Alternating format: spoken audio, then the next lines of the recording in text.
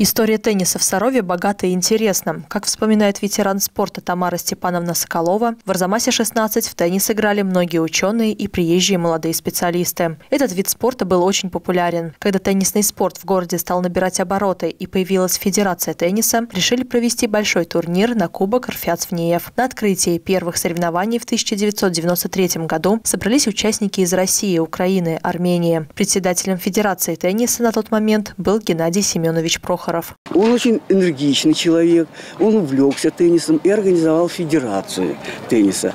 Ну, конечно, здесь тренеров не было, поэтому здесь как-то уровень местных теннисистов был ну, такой самобытный, это самоучки.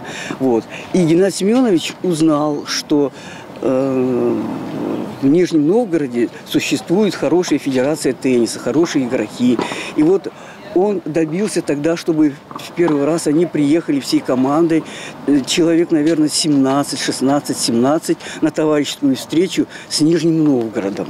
И они проиграли 17-0. В этом году турнир по теннису среди ветеранов на Кубок Рфяцвниев прошел на кортах молодежного центра в юбилейный 30-й раз. В Сарове собралось порядка 100 участников со всей России. Среди них как новички, так и теннисисты с опытом. Дмитрий Барышников родом из Сарова, а сейчас он директор ДЮСШ теннис-парк Марк НН, президент Федерации тенниса Нижегородской области. Начал тренироваться в 6 лет, выполнил разряд кандидата в мастера спорта по теннису. Многократный победитель и призер соревнований всероссийского уровня. Андрей Протопопов тоже играет в теннис с самого детства. В Саров на соревнования приехал в первый раз. В Сарове у вас первый раз. Очень нравится. Теннисом занимаюсь где-то с лет с 8.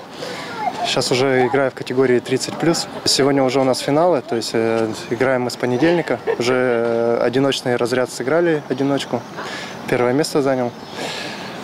Сейчас будет э, игра микс, после нее в мужской парный финал. Некоторые спортсмены приезжают в Саров уже не первый раз. Для них участие в турнире стало хорошей традицией, поводом встретиться с соперниками разного уровня, пообщаться и завести новые знакомства. Мы приехали поиграть сюда в Саров, вот сейчас будем микс играть.